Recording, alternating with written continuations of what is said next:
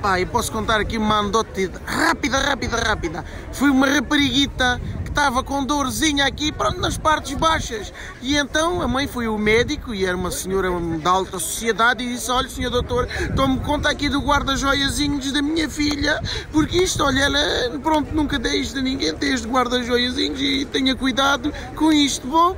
O homenzinho fez a consulta do doutor à rapariga. Às tantas vê a mãe buscar a rapariga diz assim: Então escute lá, senhor doutor, até o guarda-joias da minha filha estava muito mal. Diz ele assim: Olha, guarda-joias, aquilo era um guarda-fato. Ainda agora tirei de lá sete camisas.